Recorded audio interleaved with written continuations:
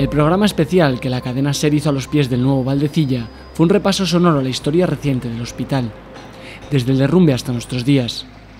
Un proceso de transformación del que Valdecilla sale fortalecido.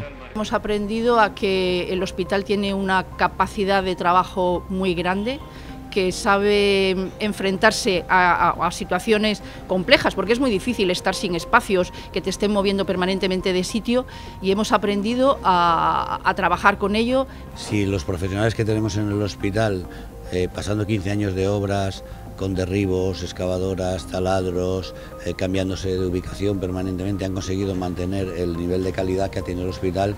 La gran pregunta es qué no serán capaces de hacer cuando tengan unas instalaciones dignas eh, para desarrollar su trabajo con comodidad. La conclusión de las obras dibuja un presente ilusionante. El nuevo Valdecilla permitirá incrementar los niveles de calidad asistencial y avanzar en el confort. La nueva área materno-infantil, pensada para mejorar la comodidad de pacientes y acompañantes, es el mejor ejemplo posible. Es lo que pretende también, que sea lo menos, eh, un ambiente lo menos médico, quirúrgico, para dar un ambiente más familiar, más íntimo, más íntimo al entorno del parto.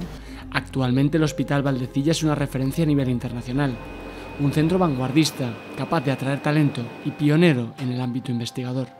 Eso es una exigencia, es una obligación, porque nos, nos obliga eh, a estar eh, más alerta, ¿no? a formar parte de ese entramado social encargado de cuidar lo que tenemos y de impulsar entre todos el trabajo de Valdecilla. Uno de los principales exponentes de Valdecilla en el exterior es el Hospital Virtual, un centro formativo de referencia mundial que trabaja con 18 especialidades clínicas diferentes y que permite a los profesionales entrenarse sin riesgo para afrontar cualquier situación. El Hospital Virtual tiene la enorme potencia de que genera todas las situaciones clínicas complejas en los tiempos en los que nosotros queramos.